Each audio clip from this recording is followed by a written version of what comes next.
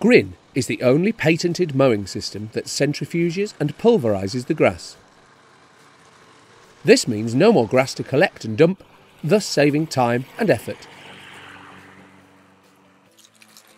With Grin, you get a perfect lawn, maintaining the same cutting level and frequency of a mower with a grass bag. How does the Grin cutting system work? The cut grass remains suspended inside the mower deck. The movement of the blade, combined with the effect of the Grin helical disc, creates a vortex that centrifuges the grass.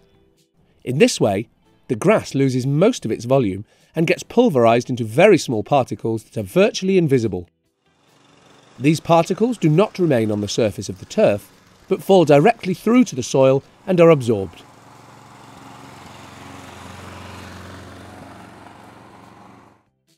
What makes Grin's mowing system unique? The blade, the disc, and the mower deck have been designed and patented for cutting without collecting bag even on taller grass. The mower deck, tall, wide, and smooth, can contain a lot of grass. The blade, manufactured with a specific raw material, creates a strong vortex. The disc helps keeping the grass in suspension. In addition, the structure of the mower allows perfect mowing, even on irregular terrain. Why should I choose Grin?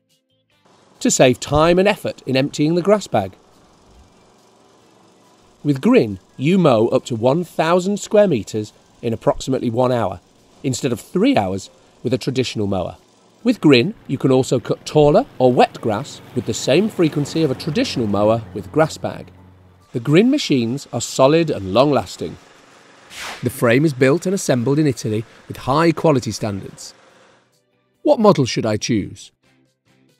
You can choose the model that best suits the size and characteristics of your lawn. From the combustion engine models for private and professional use to the electric and battery powered ones, Grin offers a complete range with several blade sizes from 37 to 53 centimetres. Choosing the right model is important. Rely on one of our technicians for advice. Come and test our Grin mowers at our dealers. Grin. Change your outlook.